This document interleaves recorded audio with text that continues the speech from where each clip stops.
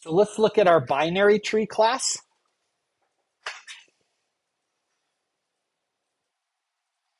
And we're just going to add a couple of things to this. Um, some things I've already added for you. We still need a root, just like we had for our arbitrary tree. So that's that's no different. Um, let's look at how we're going to change the node. So I scroll down to line 36 here, and let's take a look at what the node is going to look like instead. The node is going to be very straightforward. In one way, it's going to be similar to the node we had in our arbitrary tree. We're going to have a instance variable called data, which will reference the element. How it's different is we're not going to have an array list.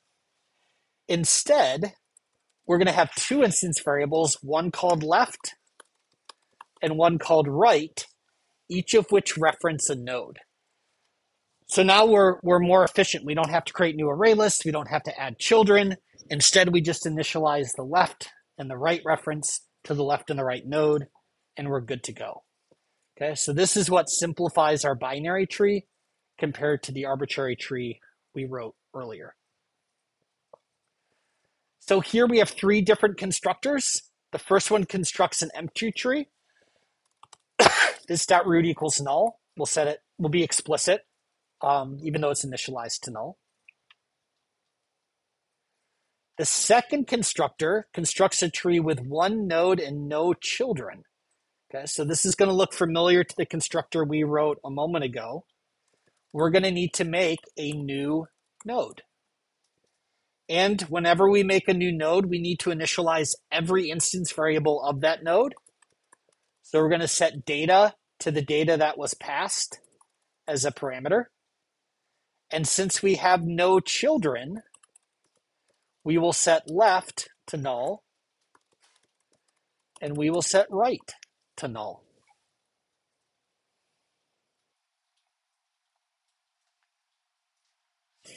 very similar to the code we wrote previously for our arbitrary tree.